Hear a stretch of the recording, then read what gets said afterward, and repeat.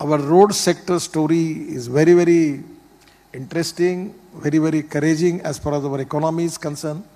We are making 22 green express highways. I'm giving you the example from Delhi to Dehradun, it was 9 hours to 8 hours. But now, presently we have already completed Meerut Express Highway and going up to the Dehradun, it is 3 hours. And now we are making new highway, access control, it will be 2 hours. Delhi to Dehradun, 2 hours.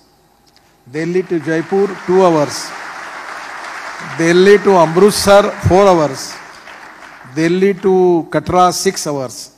Delhi to Srinagar, 8 hours. And Delhi to Mumbai, 12 hours.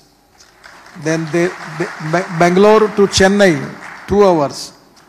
So we are making a lot of green express highways and up to end of this year and next year it will be completed. So in Bharatmala, we have already plan of making of road construction in first phase going cost going up to 25 lakh crores.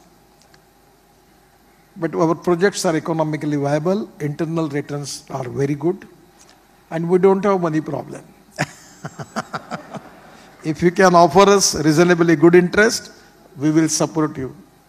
But presently as a minister, we have a lot of support financially because our toll income is now 40,000 crore. And at the, 20, at the end of 25, it will come 1 lakh 40,000 crore. And the traffic density is already, it's good.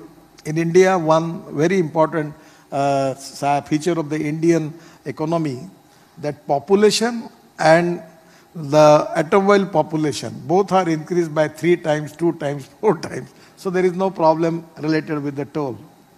So our, our income is good. We are making, and the internal rate of return is good. We are working in the models BOT, build, operate and transfer. Hybrid annuity, where we are giving 40% as a grant in aid and 60% from the concessionaire. And we are toll collected by the government and we are giving them every year returns. That is hybrid annuity. Then we are already monetizing our assets. We are getting a lot of good response. Then uh, all the international investors are already very, very large scale. They are interested to invest in NHAI.